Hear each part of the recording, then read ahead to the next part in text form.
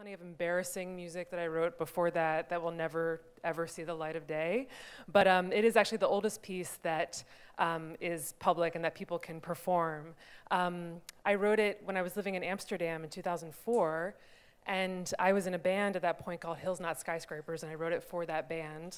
Um, and we had this weird residency at a squat, and they're like, "We have this great piano for you." It's going to be amazing. And they did have a great piano, but it had been left out in the rain for some art installation for like a year.